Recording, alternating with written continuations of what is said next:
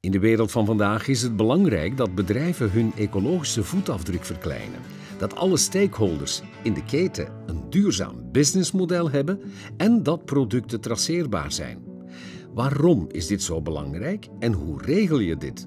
Dat ontdekken we in Torhout. Producttransparantie is eigenlijk meer informatie meegeven met uw product in uw keten om het te positioneren, om het te differentiëren naar duurzaamheid toe vooral. En ook om de volledige duurzaamheid in uw keten aan te drijven. Je kunt eigenlijk je focussen naar de verschillende stakeholders. Dus je kunt je richten naar de consument en die meer informatie geven. Je kunt ook ervoor zorgen dat producenten meer waarde krijgen voor de efforts die ze doen om duurzamer te produceren.